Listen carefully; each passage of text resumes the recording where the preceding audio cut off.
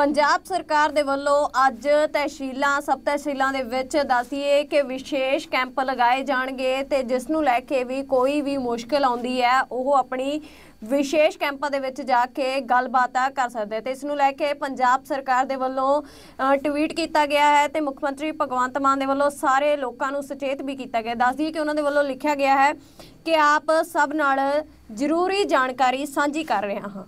ਅੱਜ ਪੂਰੇ ਪੰਜਾਬ 'ਚ ਤਹਿਸੀਲਾਂ ਅਤੇ ਸਬ ਤਹਿਸੀਲਾਂ 'ਚ ਲੋਕ ਹਿੱਤਾਂ ਨੂੰ ਮੁੱਖ ਰੱਖਦੇ ਹੋਏ ਇੰਤਕਾਲ ਦੇ ਪੈਂਡਿੰਗ ਪਏ ਮਾਮਲੇ ਨਿਪਟਾਉਣ ਲਈ ਵਿਸ਼ੇਸ਼ ਕੈਂਪ ਲਗਾਏ ਜਾ ਰਹੇ ਹਨ ਤੇ ਜਿਨ੍ਹਾਂ ਦੇ ਇੰਤਕਾਲ ਦੇ ਮਾਮਲੇ ਕਾਫੀ ਸਮੇਂ ਤੋਂ ਕਿਸੇ ਵੀ ਕਾਰਨ ਕਰਕੇ ਪੈਂਡਿੰਗ ਪਏ ਹਨ।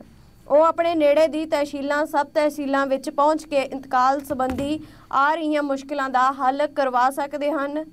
ਲੋਕਾਂ ਦੀ ਖੱਜਲ ਖੁਆਰੀ ਘਟਾਉਣ ਲਈ ਸਭ ਸਰਕਾਰੀ ਸਭ ਸਰਕਾਰ ਵਚਨਬੱਧ ਹੈ। ਦੱਸ ਦਈਏ ਕਿ ਮੁੱਖ ਮੰਤਰੀ ਭਗਵੰਤ ਮਾਨ ਦੇ ਵੱਲੋਂ ਪੋਸਟ ਜਿਹੜੀ ਸਾਂਝੀ ਕੀਤੀ ਗਈ ਹੈ ਤੇ ਉਹਨਾਂ ਦੇ ਵੱਲੋਂ ਲੋਕਾਂ ਨੂੰ ਸੁਚੇਤ ਕੀਤਾ ਗਿਆ ਹੈ ਤੇ ਅੱਜ 6 ਜਨਵਰੀ ਨੂੰ ਜਿਹੜੇ ਵਿਸ਼ੇਸ਼ ਕੈਂਪ ਆ ਉਹ ਲਗਾਏ ਜਾਣਗੇ। ਟਵੀਟ ਕੀਤਾ ਗਿਆ ਹੈ ਤੇ ਮੁੱਖ ਮੰਤਰੀ ਭਗਵੰਤ ਮਾਨ ਦੇ ਵੱਲੋਂ ਸਾਰੇ ਲੋਕਾਂ ਨੂੰ ਸੁਚੇਤ ਵੀ ਕੀਤਾ ਗਿਆ। ਦੱਸ ਦਈਏ ਕਿ ਉਹਨਾਂ ਦੇ ਵੱਲੋਂ ਲਿਖਿਆ ਗਿਆ ਹੈ ਕਿ ਆਪ ਸਭ ਨਾਲ ਜ਼ਰੂਰੀ ਜਾਣਕਾਰੀ ਸਾਂਝੀ ਕਰ ਰਿਹਾ ਹਾਂ। ਅੱਜ ਪੂਰੇ ਪੰਜਾਬ 'ਚ ਤਹਿਸੀਲਾਂ ਅਤੇ ਸਬ ਤਹਿਸੀਲਾਂ 'ਚ ਲੋਕ ਹਿੱਤਾਂ ਨੂੰ ਮੁੱਖ ਰੱਖਦੇ ਹੋਏ ਇੰਤਕਾਲ ਦੇ ਪੈਂਡਿੰਗ ਪਏ ਮਾਮਲੇ ਨਿਪਟਾਉਣ ਲਈ ਵਿਸ਼ੇਸ਼ ਕੈਂਪ ਲਗਾਏ ਜਾ ਰਹੇ ਹਨ ਤੇ ਜਿਨ੍ਹਾਂ ਦੇ ਇੰਤਕਾਲ ਦੇ ਮਾਮਲੇ ਕਾਫੀ ਸਮੇਂ ਤੋਂ ਕਿਸੇ ਵੀ ਕਾਰਨ ਕਰਕੇ ਪੈਂਡਿੰਗ ਪਏ ਹਨ। ਉਹ ਆਪਣੇ ਨੇੜੇ ਦੀ ਤਹਿਸੀਲਾਂ, ਸਬ ਤਹਿਸੀਲਾਂ ਵਿੱਚ ਪਹੁੰਚ ਕੇ ਇੰਤਕਾਲ ਸੰਬੰਧੀ ਆ ਰਹੀਆਂ ਮੁਸ਼ਕਲਾਂ ਦਾ ਹੱਲ ਕਰਵਾ ਸਕਦੇ ਹਨ। ਲੋਕਾਂ ਦੀ ਖੱਜਲ ਖੁਆਰੀ ਘਟਾਉਣ ਲਈ ਸਭ ਸਰਕਾਰੀ ਸਭ ਸਰਕਾਰ ਵਚਨਬੱਧ ਹੈ।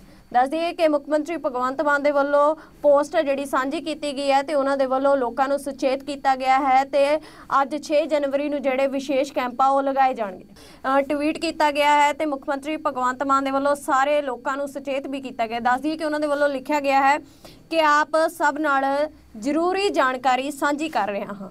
ਅੱਜ ਪੂਰੇ ਪੰਜਾਬ 'ਚ ਤਹਿਸੀਲਾਂ ਅਤੇ ਸਬ ਤਹਿਸੀਲਾਂ 'ਚ ਲੋਕ ਹਿੱਤਾਂ ਨੂੰ ਮੁੱਖ ਰੱਖਦੇ ਹੋਏ ਇੰਤਕਾਲ ਦੇ ਪੈਂਡਿੰਗ ਪਏ ਮਾਮਲੇ ਨਿਪਟਾਉਣ ਲਈ ਵਿਸ਼ੇਸ਼ ਕੈਂਪ ਲਗਾਏ ਜਾ ਰਹੇ ਹਨ ਤੇ ਜਿਨ੍ਹਾਂ ਦੇ ਇੰਤਕਾਲ ਦੇ ਮਾਮਲੇ ਕਾਫੀ ਸਮੇਂ ਤੋਂ ਕਿਸੇ ਵੀ ਕਾਰਨ ਕਰਕੇ ਪੈਂਡਿੰਗ ਪਏ ਹਨ। ਉਹ ਆਪਣੇ ਨੇੜੇ ਦੀ ਤਹਿਸੀਲਾਂ, ਸਬ ਤਹਿਸੀਲਾਂ ਵਿੱਚ ਪਹੁੰਚ ਕੇ ਇੰਤਕਾਲ ਸੰਬੰਧੀ ਆ ਰਹੀਆਂ ਮੁਸ਼ਕਲਾਂ ਦਾ ਹੱਲ ਕਰਵਾ ਸਕਦੇ ਹਨ। ਲੋਕਾਂ ਦੀ ਖੱਜਲ ਖੁਆਰੀ ਘਟਾਉਣ ਲਈ ਸਭ ਸਰਕਾਰੀ ਸਭ ਸਰਕਾਰ ਵਚਨਬੱਧ ਹੈ। ਦੱਸ ਦਈਏ ਕਿ ਮੁੱਖ ਮੰਤਰੀ ਭਗਵੰਤ ਮਾਨ ਦੇ ਵੱਲੋਂ ਪੋਸਟ ਜਿਹੜੀ ਸਾਂਝੀ ਕੀਤੀ ਗਈ ਹੈ ਤੇ ਉਹਨਾਂ ਦੇ ਵੱਲੋਂ ਲੋਕਾਂ ਨੂੰ ਸੁਚੇਤ ਕੀਤਾ ਗਿਆ ਹੈ ਤੇ ਅੱਜ 6 ਜਨਵਰੀ ਨੂੰ ਜਿਹੜੇ ਵਿਸ਼ੇਸ਼ ਕੈਂਪ ਆ ਉਹ ਲਗਾਏ ਜਾਣਗੇ।